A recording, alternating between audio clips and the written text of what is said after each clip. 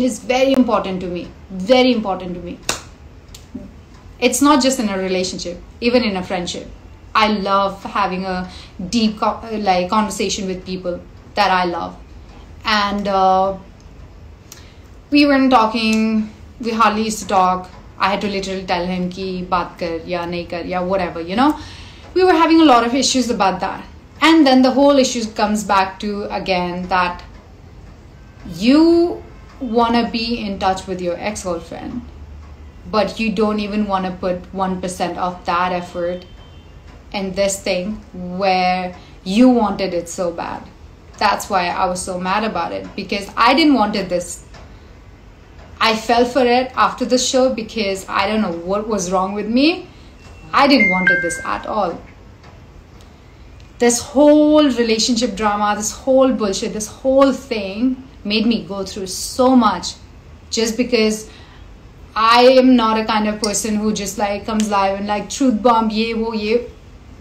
I don't do all this drama. I like to keep everything private and not have all this bullshit. But when it comes to my character, I'm not gonna be shut. I'm I won't. And all this bullshit that you have said, I'll share all the screenshots, okay? Like um, accusing. Oh, he's so mad about me accusing him. Like me posting a memes to like about ex not talking about him someone whoever or not even my ex all my ex exes are in good terms with with me and everyone respects me a lot okay we all are in good terms we are friends he's getting all mad uh, because he's saying that i'm accusing him for cheating.